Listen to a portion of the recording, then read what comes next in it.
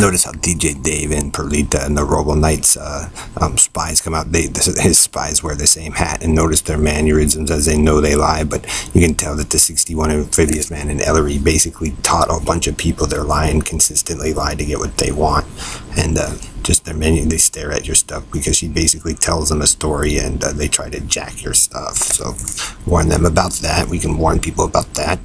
That uh, pretty much Perlita Quinwan and DJ Dave and the Robo Knight and Joe and Harry, um, you know, manipulated and took people's shit. Their whole story's bullshit, and they ruined everybody's life.